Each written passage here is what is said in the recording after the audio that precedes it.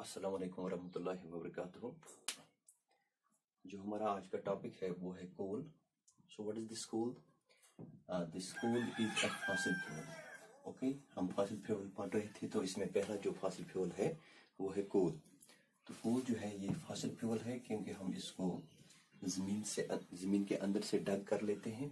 तो जो भी फ्यूल ज़मीन के अंदर हम डीपली जो बनते हैं, उनको हम फॉसिल फ्यूल्स कहते हैं।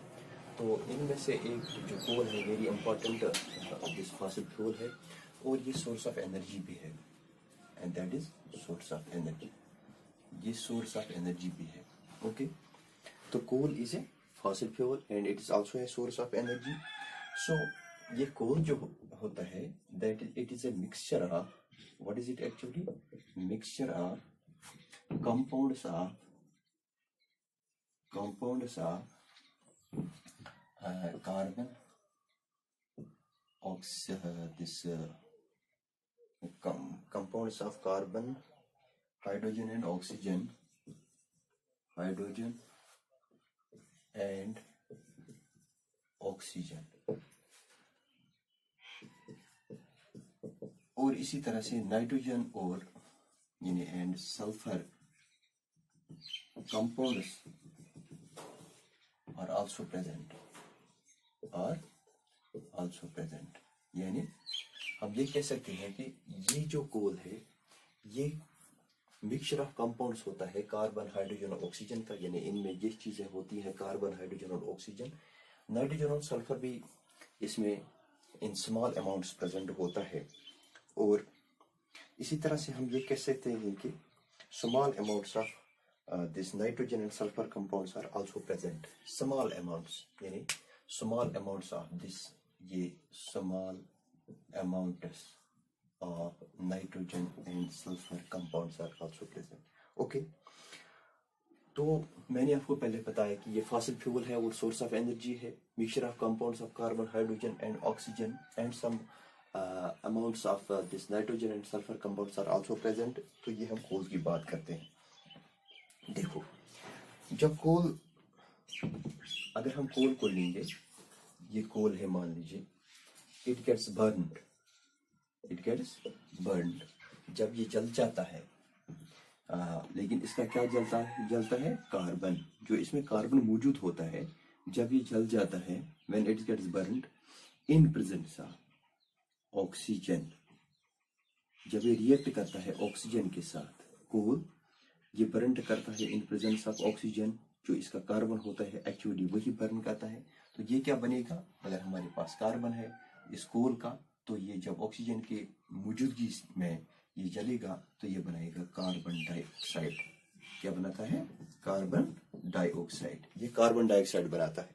ओके यानी कोल जो है when it gets burn when its carbon gets burn in presence of oxygen it forms carbon dioxide okay it forms carbon dioxide.